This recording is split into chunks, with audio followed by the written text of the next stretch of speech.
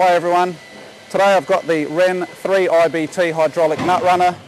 Um, just like to show you a few applications on this Komatsu 155.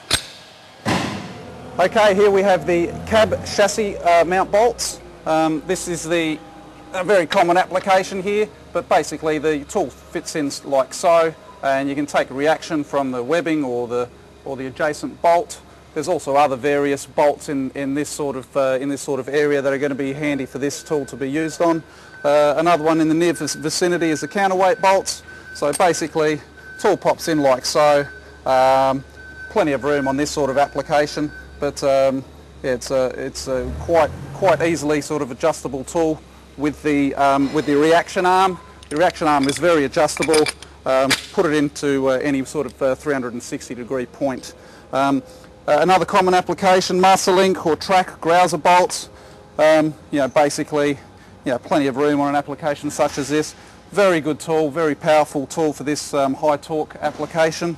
Um, so that's a that's another popular one. Uh, we've got the ball joint linkage bolts here as well. So basically, you know, tool fits in like such, or you can take reaction uh, from another point. So quite quite simple to use. Um, very lightweight.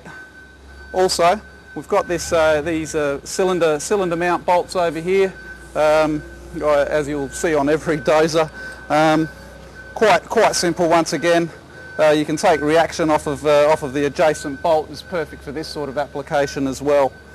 So there you have it folks, it's the, uh, it's the Ren hydraulic one inch nut runner. Um, great value for money. If you're shopping around, give us a call. Uh, we're going to be hard to beat. Um, it's a lovely tool, very ergonomic, very well made, very well presented. Um, it has a 360 degree swivel, up and down, whichever way you like. But uh, ladies and gentlemen, the, uh, the Ren hydraulic one inch nut runner, we hope to hear from you soon.